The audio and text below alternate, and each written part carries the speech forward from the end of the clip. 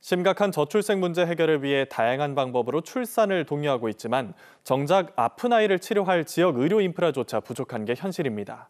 지역 의료계의 현실과 대안을 짚어보는 기획보도 오늘은 두 번째 순서로 지역 소아과의 현실을 박명선 기자가 보도합니다. 환절기를 맞은 지역의 한 소아과 의원입니다. 진료 시작 시간인 오전 9시 30분 이전부터 대기 환자로 넘쳐납니다.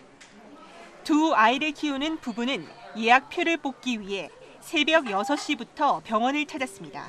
직접 가서 이렇게 뽑고 하다 보니까 조금 번거롭죠.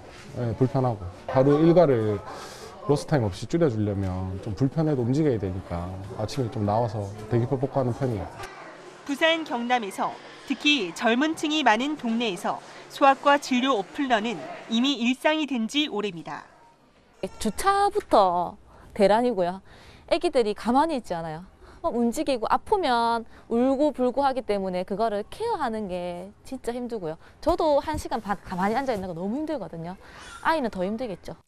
사정이 이렇다 보니 소아과 진료 예약을 위한 유료 어플까지 등장했습니다. 돈을 내고 예약하지 않으면 소아과 예약도 불가능해진 상황인데 예방 접종마저 어플로 받는 병원도 있습니다. 하지만 소아과 진료 대란은 쉽사리 나아지지 않을 전망입니다. 소아과 전공의가 급감하고 있고 개업하는 소아과도 줄고 있기 때문입니다. 필수 의료 분야 붕괴가 현실화하면서 애꿎은 환자와 보호자들의 불편은 커지고 있고 소아 응급실 역시 인계치에 다다랐습니다. 부산 경남 지역의 유일한 어린이 중증 질환 병원인 양산 부산대 어린이병원 응급실 전공의는 5명뿐.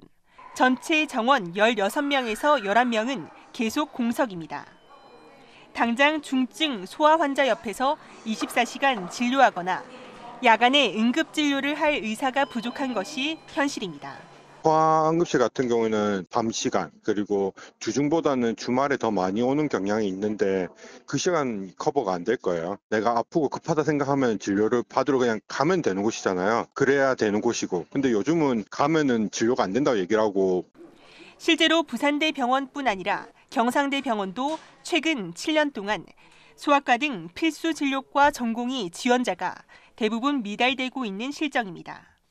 주변에서 소아응급실을 보지 않는 병원이 많아지고 응급실 운영하는 데가 없으니까 이쪽으로 다 몰리게 되고 그래서 저기 지금 있는 전문의 선생님들 이제 로딩이 너무 엄청나게 올라가시니까 이제 일부 사직을 생각하시는 분들도 있고 심각한 저출생 속 다양한 방법으로 출산을 독려하고 있지만 아픈 아이를 치료할 지역의 의료 인프라조차 갖춰져 있지 않은 것이 현실입니다. KNN 박명선입니다.